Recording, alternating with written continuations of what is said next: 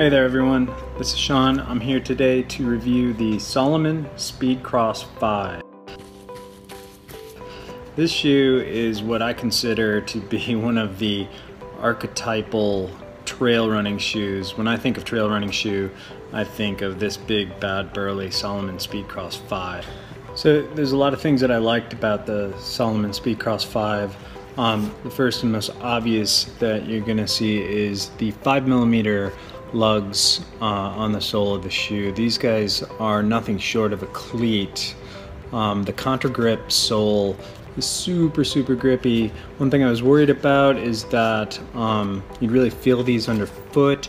I didn't find that to be the case. Um, I was doing a lot of trail running in these when I tested them in very steep conditions and the grip was superb. Um, really couldn't complain. I also worried that there might be some clumping between um, the, the knobs, but I didn't experience that at all. I think they're spaced really mindfully. Um, so really burly um, and really appreciated that in the steep uh, western Montana trails that I run in typically. As with uh, most Salomon shoes, you have this lace lock technology, um, which works really nicely, slides down super easy, um, and snugs up nice and tight. Um, I was worried that, uh, this being my first pair of Salomons, I was worried that there might be some uh, slippage, some loosening on the run, but uh, even on runs that were over 10 miles, I experienced a nice, a nice tight grip that didn't let go as the run uh, went on. So all this excess lace is neatly tucked into this little pocket here um, in the top of the tongue. So it just pops in there like so. Takes a little bit to get it all in there.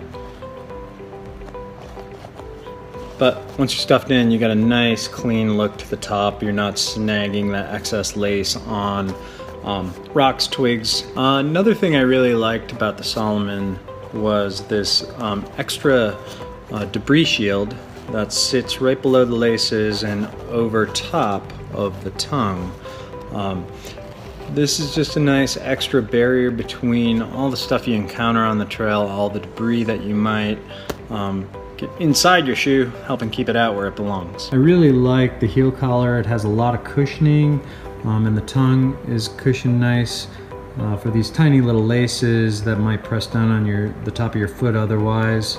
The sides have these triangular vents that really help aerate the shoe as well as the toe. The toe box is a really nice reinforced welded um, technology that's going to stand up to a lot of abuse um, and the shoe built for rugged terrain is going to see that abuse so it's very very nice to see so initially I was a little bit concerned about the stack height but uh, it turned out it wasn't very tippy feeling when I was running in it so not a concern. In summary the Speedcross 5 is a really nice shoe. It's very aggressively built. It's light coming in at 11 ounces very responsive on the trail, feels like a racing flat crossed with a football cleat, um, kind of a Franken shoe, um, but really built for that rugged, loose terrain where you need a ton of traction.